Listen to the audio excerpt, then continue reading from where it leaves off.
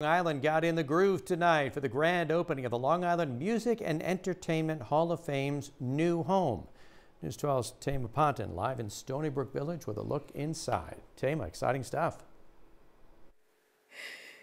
Exciting. Did you just say we got in the groove? I love that, Doug.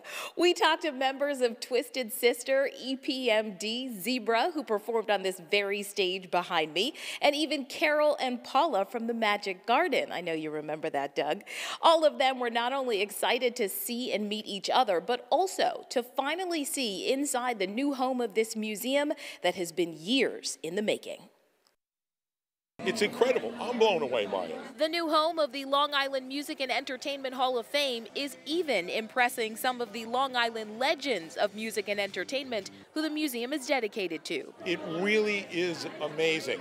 So it's great to come in and see all the Twisted Sister memorabilia, but really what's getting me is watching the people being so excited about what's going on here. Today is the grand opening of the permanent home of the Hall of Fame Museum in Stony Brook Village that honors the musicians and entertainers who are from Long Island or made the island their home. Before we used to always have to go to Manhattan to get recognized or go out of states. Now, you know, Public Enemy's from Long Island, EPMD's from Long Island, De La Soul's from Long Island. We have so much talent in Long Island that we're getting the support. Included in the museum, memorabilia from just about every musical genre, including rock, pop, hip hop, and classical. My grandfather's guitar work, as well as his stance as a um, funk blues icon, has been cemented here at the, at the, Long Island Music Hall of Fame. There are also exhibits, like a replica of a stage from the 1970s, clothes from some of the performers, and iconic items that are a catalog of Long Island's musical and entertainment history through the decades. This is the 50th anniversary of the Magic Garden,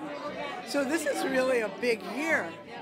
And to be in a situation like this, it feels like such a celebration we can hardly see straight. It's wonderful.